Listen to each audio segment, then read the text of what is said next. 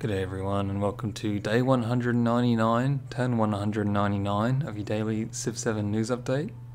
There is no news today. Thanks for watching.